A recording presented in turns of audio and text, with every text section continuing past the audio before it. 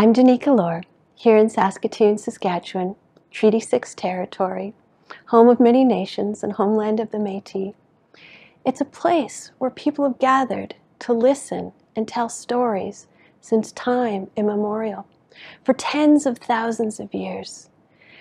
I'm really grateful as well for my storytelling friends in Alberta. I met many of them through the Storytellers of Canada, Conteurs du Canada.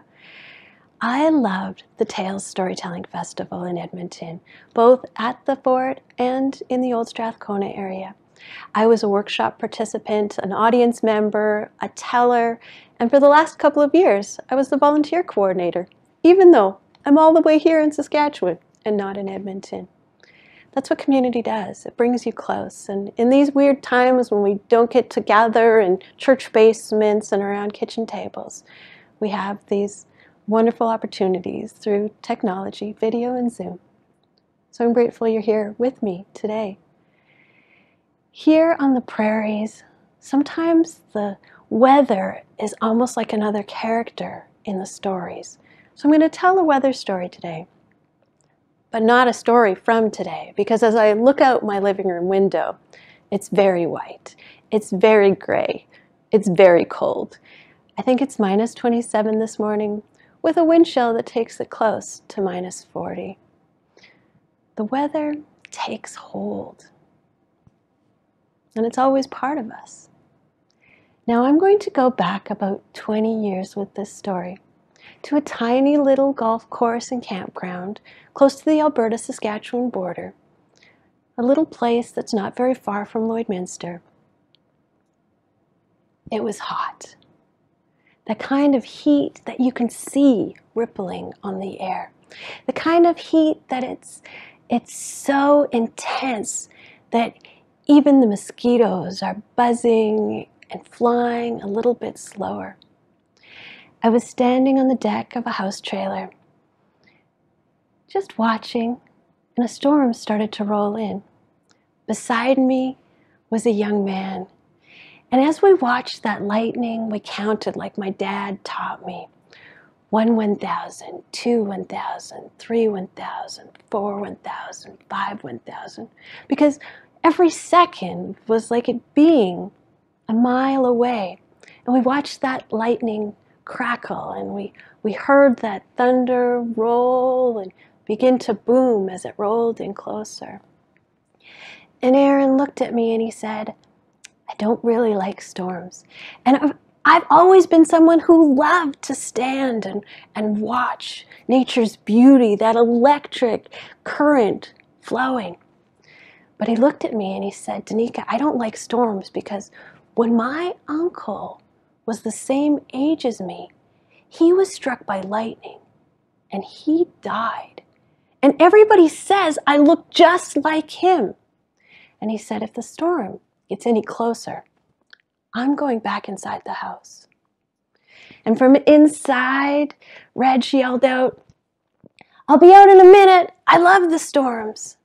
And all of a sudden, one 1,000, two 1,000, three 1,000, four 1,000 became boom!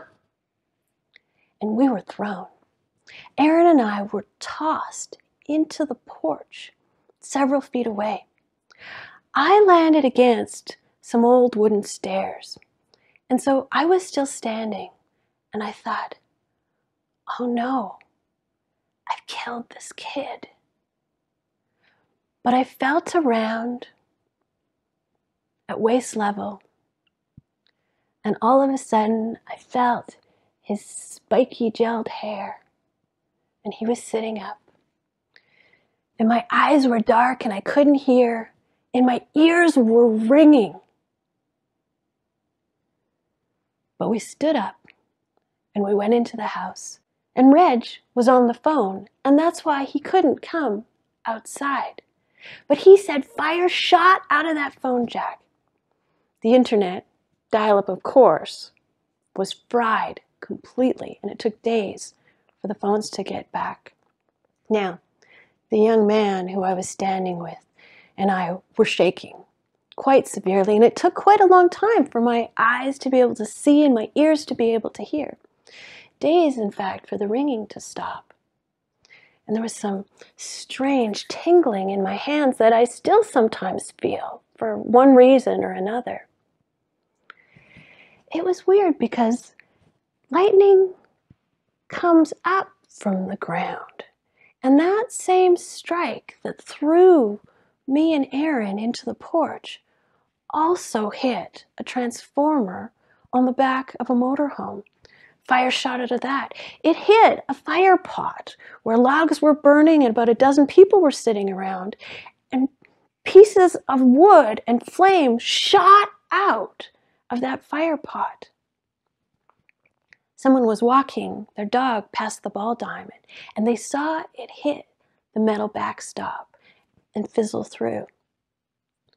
And all of those strikes, and not a single person was injured. Someone even said that there was a call from the Discovery Channel because it was kind of an unusual strike.